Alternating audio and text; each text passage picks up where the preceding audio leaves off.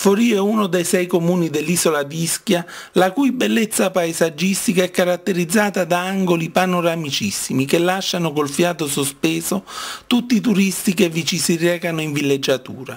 All'interno del porto di Forio, all'ombra del Monte Nuovo e del Torrione che svetta incontrastato sul centro storico cittadino, c'è una spiaggia su cui da decenni vige l'assoluto divieto di balneazione che però, ogni anno e puntualmente, non viene fatto rispettare dalle istituzioni preposte che pure sono sempre presenti in zona. Così come abbiamo già fatto in passato, nella settimana a cavallo tra il mese di luglio e agosto 2009 abbiamo documentato con le nostre telecamere di PCML TV l'incredibile scena di cittadini che si tuffano e giocano spensierate in acque senz'altro sporche e probabilmente inquinate non solo per la presenza di decine e decine di imbarcazioni, ma anche a causa dell'esistenza, a poca distanza, dello scarico fognario del paese. La cosa più rincresciosa, così come abbiamo accennato prima, è che il fenomeno si ripete puntualmente nei periodi estivi da decenni, senza che nessuno delle autorità preposte si impegni più di tanto a far rispettare, una volta e per sempre, il divieto di balneazione nel porto di Forio, e questo nonostante la stampa locale denunciasse da anni il fenomeno. Attraverso la fotografia che state vedendo scorrere in sovraimpressione vi dimostriamo con i fatti che è sempre stato così.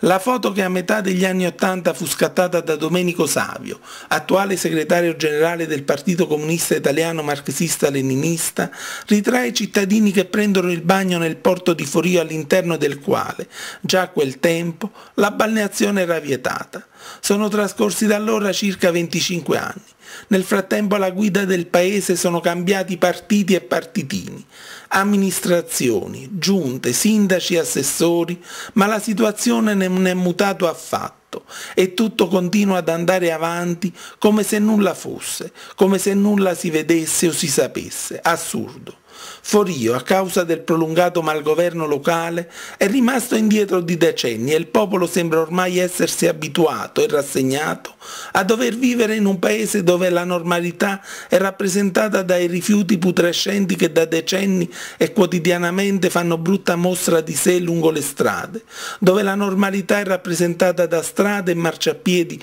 pericolosamente dissestati, dove la normalità è rappresentata dal degrado sociale diffuso con interi quartieri abbandonati a se stessi, dove la normalità è rappresentata dalle spiagge pubbliche sporche e ricolme di rifiuti, dove la normalità è rappresentata dall'assoluta mancanza di spazi dedicati a bambini, giovani e anziani, dove la normalità è rappresentata dalla bieca politica del clientelismo, del favoritismo e del nepotismo portata avanti dai potestà di turno,